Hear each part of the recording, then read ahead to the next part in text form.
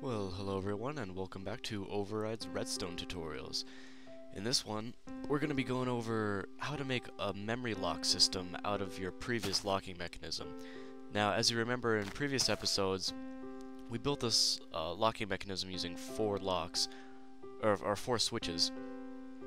And one problem that can sometimes arise is, say if this is a building that's going to be your base, or some kind of a vault that you're going to be spending a lot of time in, uh, if you put in your combination, see, so it was this one and the first one. You put in your combination, and when you go to open the door and you walk inside, your combination is still left outside here. Uh, so anybody walking by could see the combination, remember it, and then when you leave, they can jump in there, get all your stuff, bad things could happen. So one way to combat this is to try to make a system that once you enter in your, your combination, you can release the combination, but the memory is still stored in your system. This can be done by using an RS NOR latch. Uh, a lot of different ways to build this can be found on the, the Minecraft wiki. I'm going to do a quick one that seems to be really easy, at least for me. You make your input coming in this way, and then you have your two torches almost at the same spot, but they're facing opposite directions. And then you connect these with redstone. See that one turns off. Now you gotta be really careful with these because sometimes uh, it could turn into some kind of a loop or whatnot, but this is how you design it. So, what's basically going on here, it's a little bit confusing, but it's almost like two weird gates connected to each other. You have your input coming in this way. This is what's going to happen when your combination is correct. It's just going to come in this way. Now to reset this, you give an input here. As you see, this side turns turns off, this side turns on. If I get rid of this torch, it still stays on. The state is still the same. If I give an input on this side, they switch. Now this side is on, and this side is off. These are what are known as your Qs. This is your Q normal, and this is your inverse Q. That's just the output of whatever signals you're trying to put in here. Since this is your input switch, this is what's going to trigger this to turn on. So when the combination is correct, it's going to turn this system on. Now when once you're inside, you want to reset the combination, and so you'll give an input on this side, and that'll reset everything back to normal, so that's off and nobody can come back into your base. Alright. Well, that's all for the explaining. Let's get down and make this. We're going to do a, uh, a little modification to our previous circuit, so we don't have to build anything new. Okay, so this is giving a true output, which means the combination is correct. And you can remember this is our button. It's connected to, so when the button is pushed, these are going to work. So what we're basically just going to do is get rid of this and put a little step in between these two. So this step, we're just going to build our, our latch. There we go. Just like we did before. Oops, don't go there. You go there. And that should be it. Yep, connected in, and there's our output. So, this combination is correct. Ooh, actually, I just realized, if you build this backwards, it inverts them and makes it easier instead of having to go all the way around, so I'm going to do that real quick. Little debugging. Sheep, sheep, you're in the way. Sheep, there, thank you.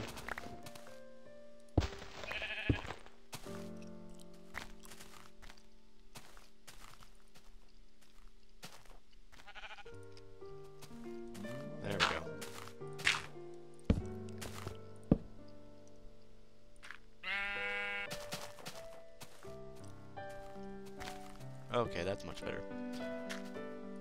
So, when our combination is true, it'll light up this part, and then this will go into the gate with our button. So, we're just gonna move this out of the way. Let's see, we're gonna have to make it so that button goes there. Um, actually, be easier because we don't want that to touch this anyway, because that messes it up, and we get that phaser like we did before. Okay, that should work, and we'll just move that. Um, I'll put something over here, so that blocks that from going through. Okay. So then we're going to put an AND gate here, so that when the memory is true and the button is true, door will open. Pretty simplistic. Ooh, just saw... Okay, no, it's okay, I can fix that. yeah, this is just constant, you know, you have to keep everything in, in check. That's connected to that. Connect these over to here. Yes, great. That should be perfect. Alright, let's test it out real quick. So, this is the correct combination. That's in our system. We turn off the combination, then we press the button. Door didn't open. Alright, let's see what we did wrong here.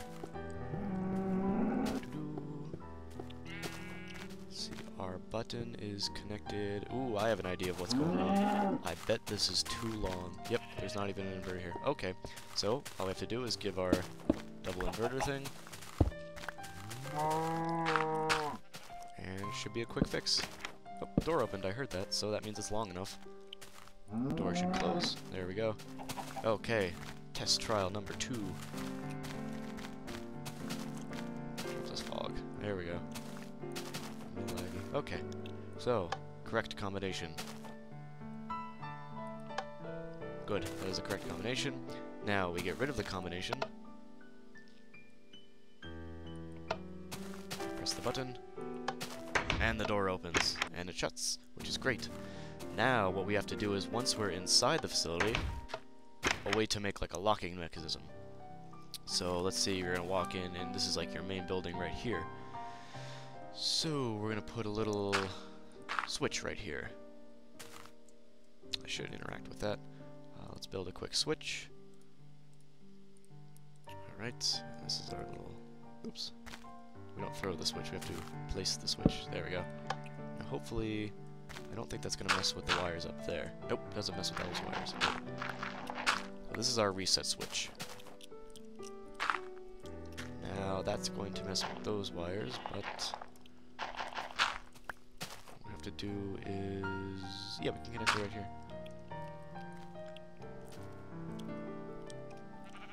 Great. Those wires are on. Good. Now he's got to connect these all the way through. Now, a really cool method I just saw was how to make your wires so that they don't touch each other.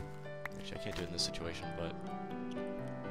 Say if you have two wires right next to each other, and you can't really help putting them next to each other.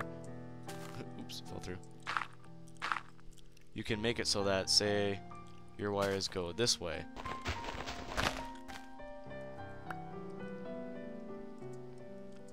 Put that there. and then you just place these blocks here. what happens is the wires can't go through the block, so you can pass wires right next to each other, just different layers. And that's just a little something to help you out if you want to carry like a bunch of different data streams or whatever. It's completely up to you. Uh, let's repair the landscape. Okay. This is going to go all the way... Oop, ran out of wire. So, do a little extender.